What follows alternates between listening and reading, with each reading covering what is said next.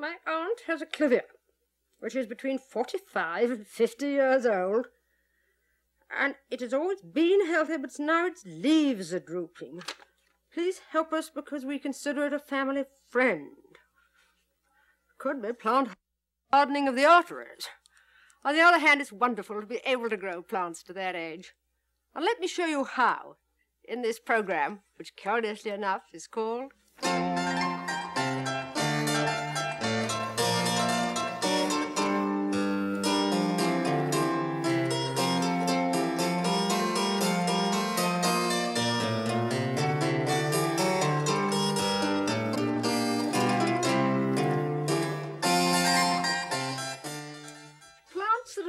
flourished under our care get a sort of emotional hold on us, particularly if they're associated with family occasions.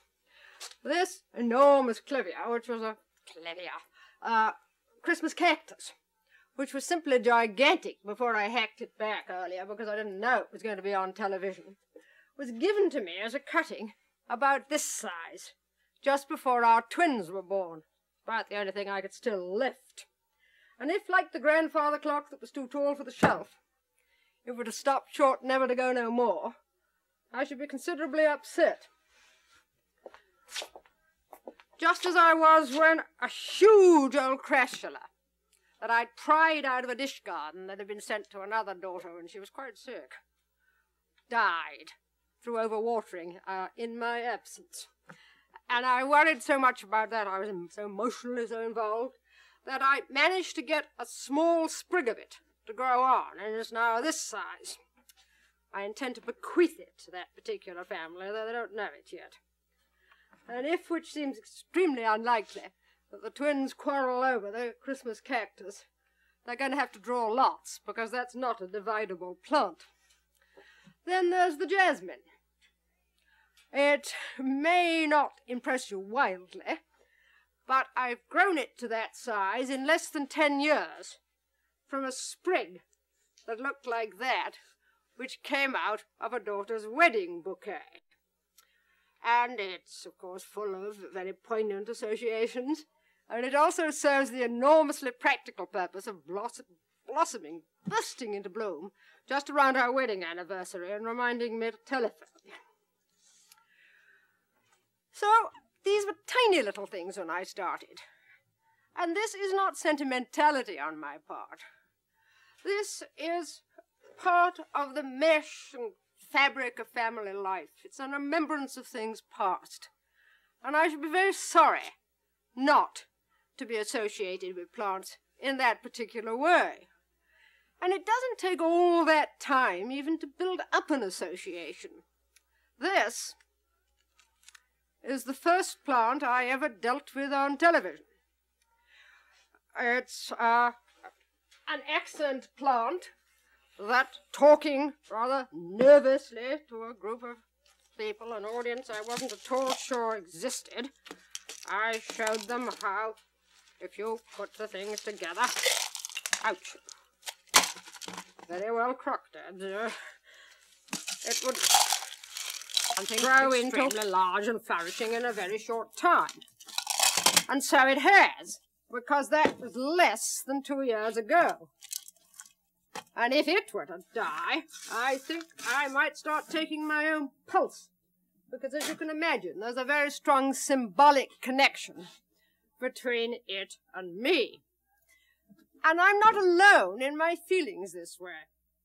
I know an old lady in a nursing home whose only personal possession is a plant she grew originally from a cutting and I have another aged friend who's rejected three suitable apartments found for her by their, her harassed relatives because none of them had a place for her rubber tree.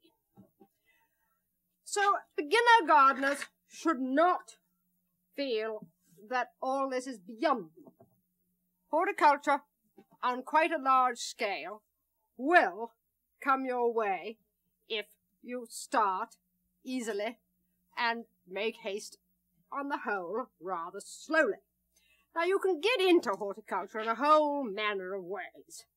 Somebody can send you a plant that actually is a long lasting one, like this cast iron palm, as opposed to the sort of little flowering plant one so often given, which once it's over, it's over. There's nothing more you can do with it indoors.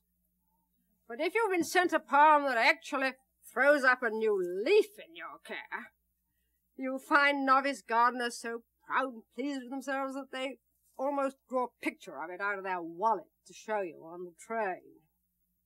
You can grow up with horticulture, which means that you take it much more for granted, which is an easier way of getting into it. Or rather late in the party, you can agree to look after a friend's plants on vacation. Any of these ways, just so long as the initial experience is successful and not too much trouble, people very often think that it's all as easy as falling off a log, that they're going now to grow plants. And they take themselves off to the nearest retail greenhouse or florist shop, and that's when the trouble begins. Places of that sort are not set up for gardeners who don't really know what they're up to. They stock large, expensive plants, or they stock splashy, short-lived plants. And usually the assistants are not willing or anxious to steer you towards easy things. They instead suggest you buy something like this, which is all right for the moment, but goes right over, and you're left again with nothing more. And they're also exceedingly expensive. Something like that uh, Rose would cost anything up to thirty, forty dollars. That is going to be a appalling trauma if that dies on you while you're learning to handle it. This business of not being self-confident enough to ask the right questions is really something that the shops who sell plants should be more responsible about. It's very difficult to get anything done nowadays. Very difficult to get your television set mended, get your dryer mended, get a leak mended. Trained help of that sort is rare, and assistants at, at uh, flower shops very often don't know the answers to the questions you want to ask, even if you know enough to ask them. And because of that, some manufacturers have taken to labeling their plants in an attempt to deal with this particular problem. And though you can't always read the labels, in this case it's fairly fundamental. It says this is an indoor plant. Oh. Grow in a well-lighted location to prevent from direct sun. Well, basically the information is right, but it's not going to prevent you from growing it or from buying it, and it's totally unsuitable because it's a gardenia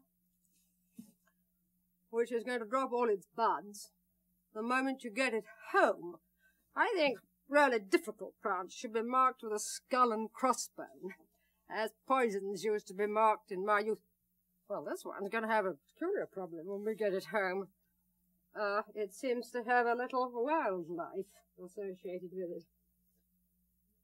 That's probably going to turn into something rather nice. Let's, let's Oh, I would put it on the florist's plant if I knew, but let's take it off my gardenia. The really sensible thing to do, if you're looking for plants and you're brand new, you don't know a thing about it, is to go and get small ones, it's not going to kill you if they die, and learn on them. And the place to go then is somewhere like a big garden centre that raises very small plants. The only problem about a garden centre is that they're still in perfect living conditions. They're still, as it were, in a greenhouse. They've not made the hard transition to the realities of life. And you might be even more successful if you went to a supermarket or dime store, which these garden centres do uh, supply, and got plants there. Because any plant that's lived through a supermarket or a dime store for a bit is a hardy soul. The men have been weeded out from the boys, and your house is going to seem like paradise regained in comparison. But be very picky. Wherever you buy them, be very picky. And buy more than one. Uh, if you don't know how to handle them, do one one way and one the other, and you'll learn. reject something like this because it clearly has got a lot of leaves dying off it. And don't get something like this, which is suffering from appalling overcrowding inside the pot. Now there's another one you should avoid because the leaves are yellowed, which is a sign of malnutrition. It seems the most silly thing to advise, but there's nothing lost by smelling your plant. If you don't like the smell, it's in trouble. Yep, root rot. All these are things that you learn by hard experience. And another rather gloomy piece of advice that I want to suggest is at first that you steer away from blossoming plants. They've reached a climax when they come to bloom. And if you're a beginner and you're looking after them, there's nothing left for them but to go downhill. You really should try and get an evergreen that's quietly ticking over, not a plant in full flower. But I'm going to make an exception for that. In the for about the uh, Thanksgiving cactus, which is not quite the same as that one there because it's got a slightly different, they're all the same family, but it has a slightly different leaf. That's the kind you see with two rather hideous shrimp-like projections which with a bloom on them in early fall. And if you pop two or three of them together, as I have here, I only put these together last spring, you can see them there, they make quite a good show very quickly. Well, after all this don't, don't, don't, where are the do's in this program? Let me show you the kind of thing oh, that you can get, and which probably will teach you a great deal as you learn to handle them. You go round picking things up right and left without knowing much about them, and if you're like me, you lose the labels if they're not on them, and you forget the names. You'll notice that as I go through. But it doesn't prevent you from learning. Now, the ones that will help and do well are something like the saxifrage, which is very also rather like my father's moustache. Look at all this. That's a sign of health. That's not trouble. But it does need a lot of cleaning out. This is one of the basics of horticulture that you have to learn, that you've got to get this kind of thing out, or the plant is going to go into decline. Plants of decline are peculiarly depressing.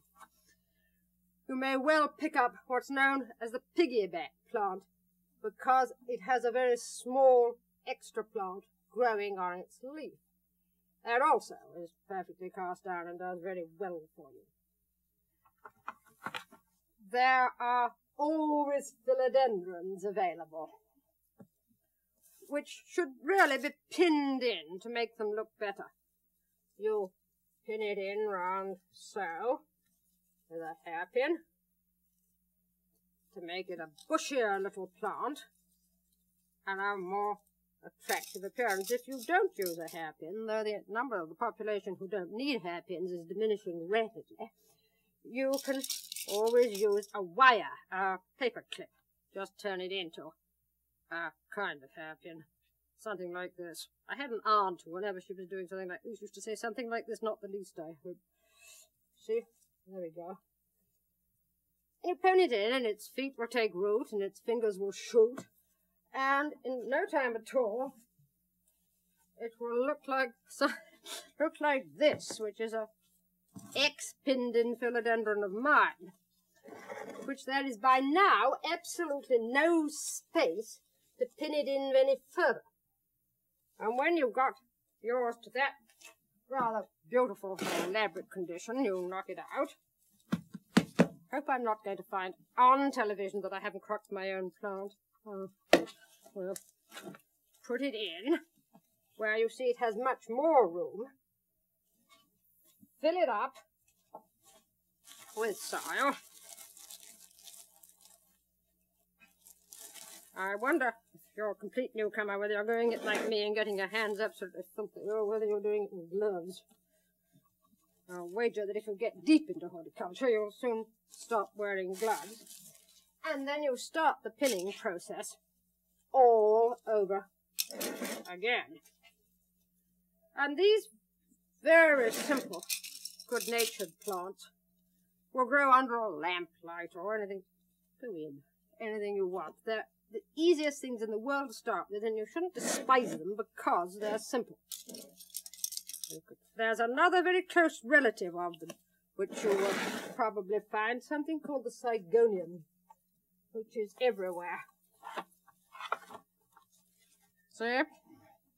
Oh, I saw a plant that needed a little pinning in, it's that. It's all... I don't think I'm going to to get very far pinning it in here. But this is also an excellent tolerant plant. It's going to, is it going to look better? Oh, that's than it did so when it was falling down. At least not going to fall over all the time, and gradually its leaves will come up at you. You, as you go round, you'll find plants that will teach you various basic facts of horticultural life. Now, if you get a Sansevieria, or a crassula, you'll soon learn not to overwater them, because these are plants that pingle and pine if they get too wet. That's why I say buy two, because if you've been watering away and find it's dying on you, then you ought to have had a control by running another that doesn't. You also may buy a cissus, and that's going to teach you to prune if nothing else will. Because it gets out of control in absolutely no time. And even the feeblest horticulturalist is going to cut that back because it's going to be the most ghastly nuisance if you don't. And at the same time, you may get a Hoya, which you won't prune. But you better learn not to prune anyway, because a Hoya will only bloom when it has an enormous rat's tail.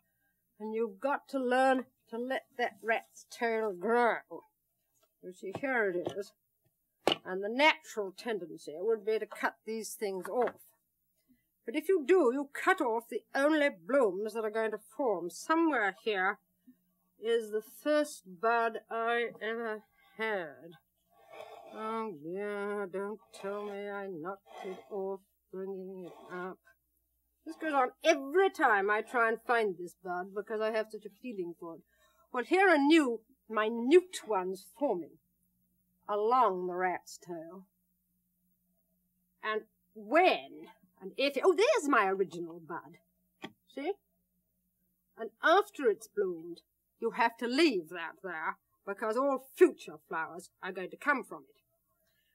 And your Hoya will also show you very rapidly if you've got it in the wrong position.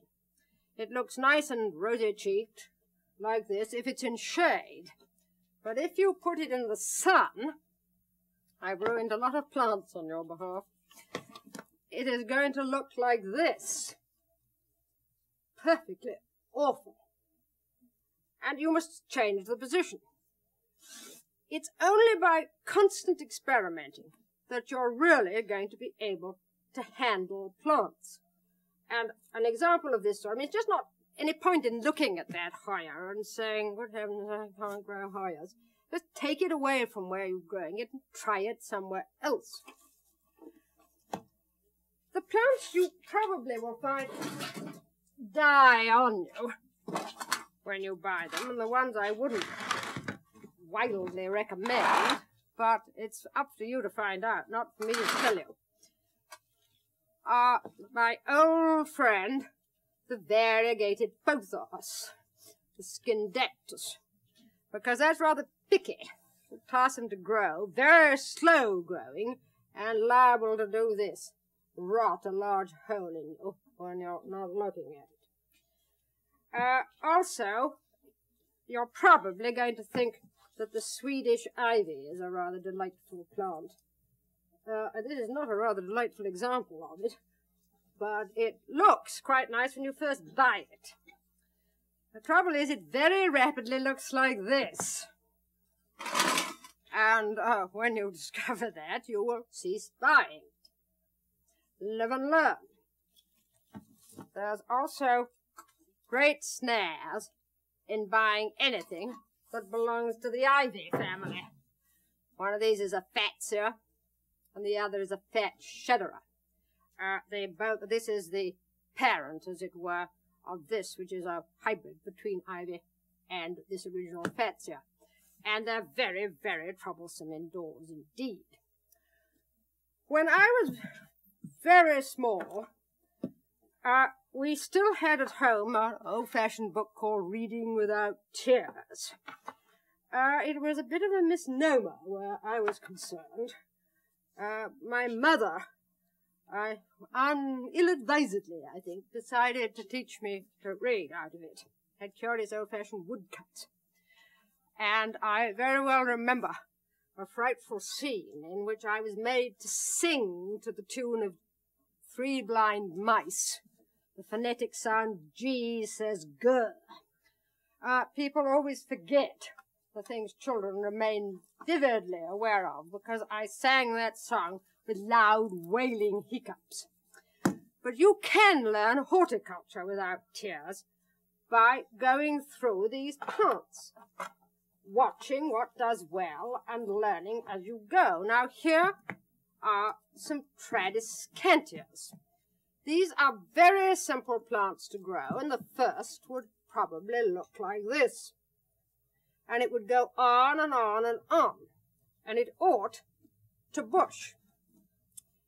So this again would be a way in which you would learn a horticultural fact of life because it would occur to you soon to pinch it out. And you might also find that that little thing grew very well. Uh, I don't know what it is. I've lost the label. When you get them, Mainly they need repotting. And the thing to do is to buy a few small pots when they come. This one's all right, but if you get something in one of these awful little white pots, I would suggest that you knock them out and pot them up again. And that's another extremely good way to learn about plants. You can see that this has got the reason for its brown leaves is because it's not had enough space for its roots. You can see that it's in rather rich soil. The, those who grow plants for us almost always put them in the appropriate soil. And that is one of the reasons why you needn't be too madly anxious to change the soil, but you ought to give them larger pots. And I myself don't seem quite to have gauged this correctly, but anyway, where, where are my cups? Yeah. If I were potting this up again, just put a little thing in, a pinch of soil, put it down in there again, and you've got a much happier plant. And watch the soils as they come out because you can tell a lot of the kind of plant it is, whether the soil is sandy or whether it's very uh, fine, or whether it's heavy and obviously marshy. Now you may be one of the people kind of person who likes uh, these little cactus. They are not my favorite plants, and I do think they come in the most hideous little pots. But people grow them, otherwise they wouldn't be on sale. And if you feel you can't stand that pot and want to repot it, you will rapidly learn that the only way to do it is to hold it with a piece of paper while you get it out. And there you see how very sandy the soil the cactus has been growing in. These are the basics of horticulture and the way that one learns. And it's an exceedingly good way to have only a few things to have to worry about. If you start with an enormous number of plants, you're going to get uh, overwhelmed. I'd much prefer to see a beginner start in with my non-favorites, which are under their eye and which they can watch all the time, than to have them start with big plants or so many that they can't take good care of them. And if you compare the speed at which certain plants come, here now is one of these little tiny palms. And here is the one that we looked at a little earlier. This is two years old and has been potted on by me from this. It also was on a very early show. And that makes it really a quite a respectable show. If you had three of those and put them together on a tray, or if you massed anything on a tray in the usual way,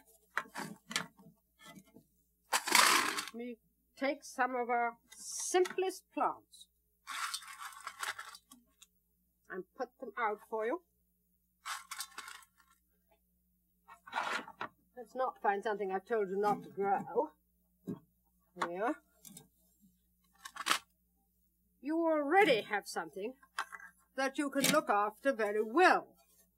And if you add to it extremely good natured plants that need very swampy conditions, as well as the plants that you know hate swampy conditions, which you've learnt by this time can't stand them, then you just raise them up. So you take it out of trouble. I agree that's not horticulture on a big scale, but it's manageable, which is the point that I want to make. And it's quite extraordinary how fast it does become on the, uh, does become something on a big scale. Think back on the jasmine and the tiny little shoot, or even on my old Christmas cactus. And once you've really got going with plants, then you'll be able to go into a florist and know what you want and ask the right questions about it. And don't hesitate to take it back if it dies. This is something that is not stressed enough. Most of us act as though plants were something that if we lose them, it's no good to us if we're ever going to get something really good out of our purchases, we've got to go back and complain when we find the plant dies on us. Now, you and I can't leap into something huge at once.